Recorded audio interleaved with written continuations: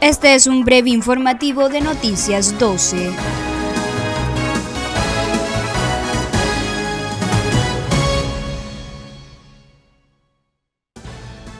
El Instituto Nicaragüense del Turismo logra recuperación en el sector alojamiento al 90% en cierre del año 2021 e inicio del 2022.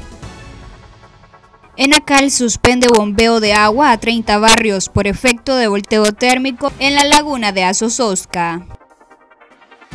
La Organización Mundial de la Salud recomendó aislamiento de 14 días y reiteró la necesidad de vacunar el 70% de la población mundial.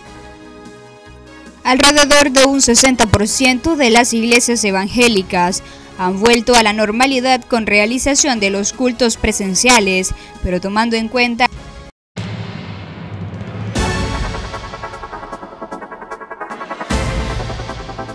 Espere la ampliación de estas y otras informaciones a las 6 de la tarde.